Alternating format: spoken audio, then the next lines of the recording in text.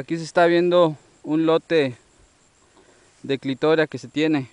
Aquí se, se puede ver cómo la, cómo la clitoria se desarrolla.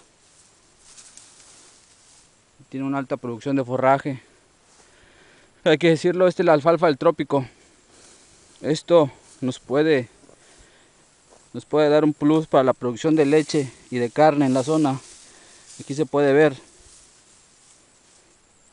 la producción de la planta, que es muy rica. También se le conoce como conchita azul debido a la, a la floración de la, de la planta. Y aquí está el resultado. Como está cerca del banco de la clitoria, el pasto mulato está fertilizado. Y aquí está.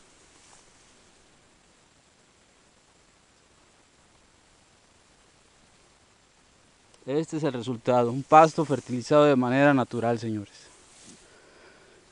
Ahorrar y proteger el medio ambiente. Ahorrar dinero, proteger los ingresos de la empresa y proteger el medio ambiente. Es lo que el rancho El Pionero está promoviendo.